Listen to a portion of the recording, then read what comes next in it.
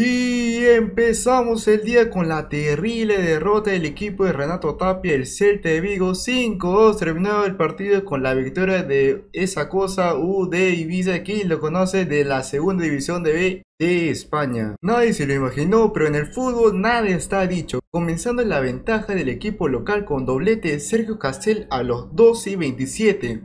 Y un minuto después se metió gol Javier Pérez Mateo. Terminó el primer partido con una gran ventaja el equipo local. De quién lo conoce ese equipo, ni la menor idea. Pero no se sentía satisfecho con ese marcador. Así que en el minuto 61 marca un gol de penal de Manu Molina. Pero el equipo Caudé recién reaccionó metiendo el gol a los 78 de Santi Mina y otro al 87 de Jordan. Es, nombre raro, nombre raro. Ahora lo a creer. Pero fue muy tarde su reacción y en los últimos minutos suplementarios da el 5-2 Ángel Rodado, pero por otra parte del equipo de Celta no jugó sus grandes estrellas como Nolito y Aspas y Santi Mina recién entró después al segundo tiempo comenzando en el banco.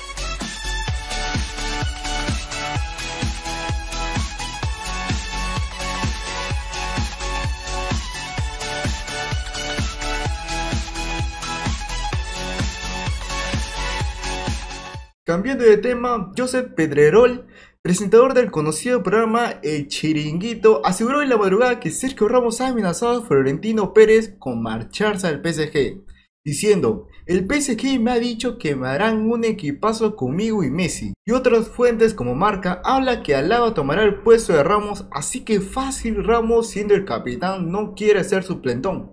Por eso lo más probable es que se vaya ya que tiene 34 años, pero bueno.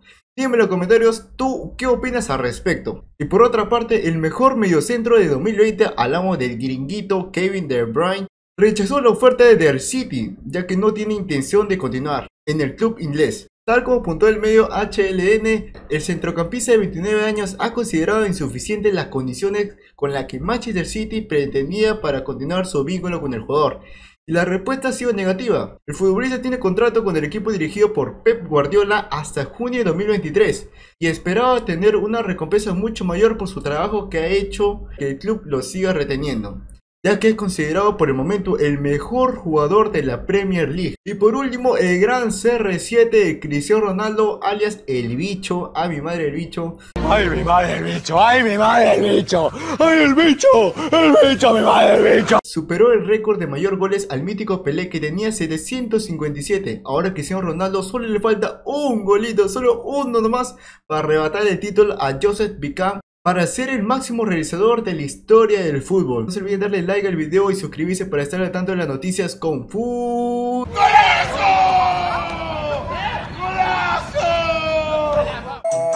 Genie Grant, I wish I'm getting rich, huh? Remember when I said I hit a lick, huh? I don't really wanna fuck the bitch, what? Willie when I made another hit, okay, like Prada on my motherfucking kid, huh? Louis on my motherfucking hip, huh? Curry how I dunk, no switch, hey, fucking gonna fuck that bitch.